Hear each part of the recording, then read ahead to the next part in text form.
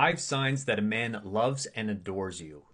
I'm Brody Boyd with Magnetize Your Man, and as a love coach for over 13 years, here's what I've seen. Number one is the mesmerizing gaze. His eyes light up when he looks at you. Number two is attentive listener. He hangs on your every word, showing you genuine interest. Number three is what I call your happiness first. He goes the extra mile to make you happy. And number four is your biggest cheerleader. He celebrates your successes and supports you. And lastly, number five is noticing the details. He pays attention to the little things that matter the most to you. These signs reveal his deep affection and connection to you, and I hope that helps.